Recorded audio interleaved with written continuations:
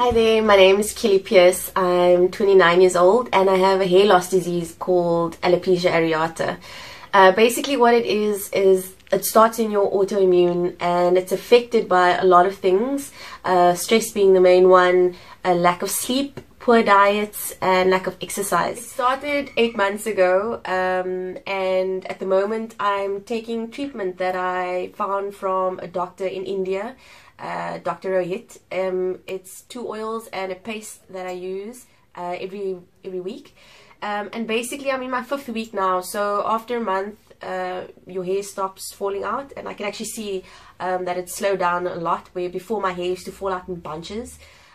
Okay, so before I had really long, thick, uh, beautiful hair, um, and yeah, that's basically where I found my confidence. The reason why I shaved my head was because I was so tired of, of stressing over how to hide it.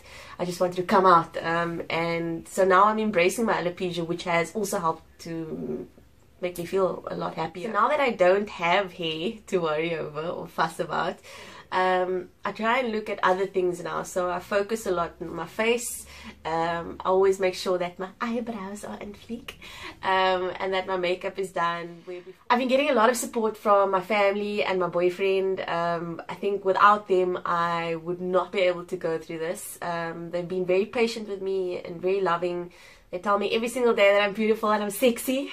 For yourself, uh, just try and stay positive. Uh, do those things that you are passionate about to stay happy.